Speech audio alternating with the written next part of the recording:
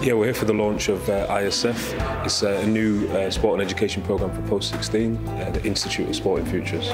The programme runs alongside a sixth form within a secondary school um, here at Notre Dame um, and is ideal for students who are looking for a career in sports coaching. So this morning they've been doing uh, some some uh, physical activity with uh, one of our tutors, so some team building games and sports coaching uh, mini sessions uh, and uh, Jess has been involved with them. We've been with a load of kids doing lots of different exercises and team building exercises um, outside in the freezing cold just to give them a taste of the course and, and what they can expect. I think it's so important. You know, I spent majority of my, my life within sport, um, had some great successes along the way, but without a doubt I wouldn't have been able to achieve those successes without the support of a fantastic coach. Those are the people that make a huge difference as to why elite athletes like myself can become so successful within their sport. In terms of the programme, the way it runs is it's kind of an alternative to the mainstream offers that, that schools have, so A-levels or apprenticeships. We have two days a week in education, three days a week on work placement. The Active Tech is a qualification which is regulated by Ofqual, sits on the school's performance tables.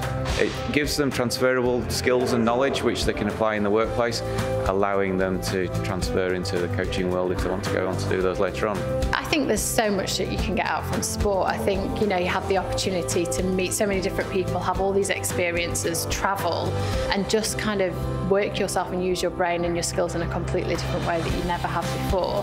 And the thrill of being a coach or a support team when you've worked so hard at, you know, coaching, uh, you know, a young child from the age of 10 to whatever level they might get to is so rewarding for yourself as a coach. I enrolled for this because I wanted somewhere where I could get experience and college work as well.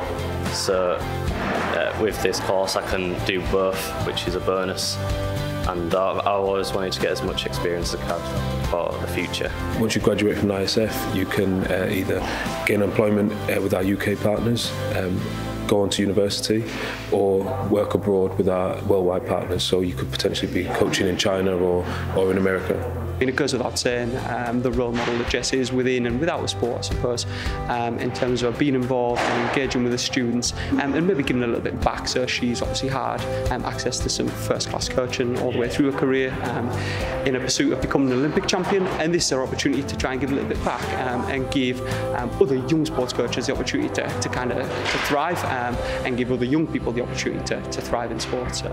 I'm really excited to be part of it because I think it's just a great new avenue for you know children at this age to finish their exams and to have a way into a fantastic course where they can put you know all those experiences into a field and you know get out there and experience everything firsthand but also be able to study and hopefully have a career at the end of it.